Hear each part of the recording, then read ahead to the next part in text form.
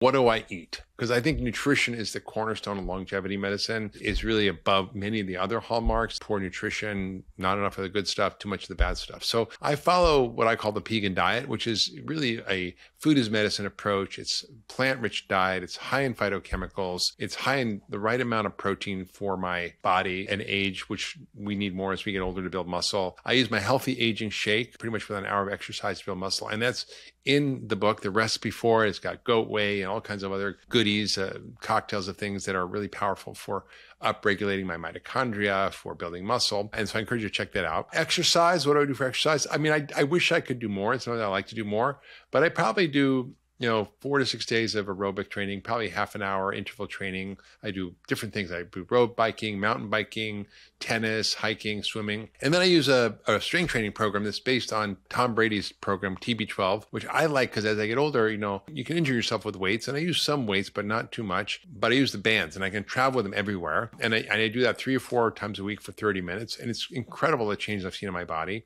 I do hot yoga whenever I can get a hot yoga studio, vinyasa yoga a couple times a week. And stretching every day a little bit. Just keep flexible. Sleep, I always try to get seven, eight hours sleep. I usually get to sleep by 10, uh, up by, um, by six or seven and I make sure I, I, take magnesium at night. I wear eye shades. I have earplugs. I make sure I make a quiet sleep environment.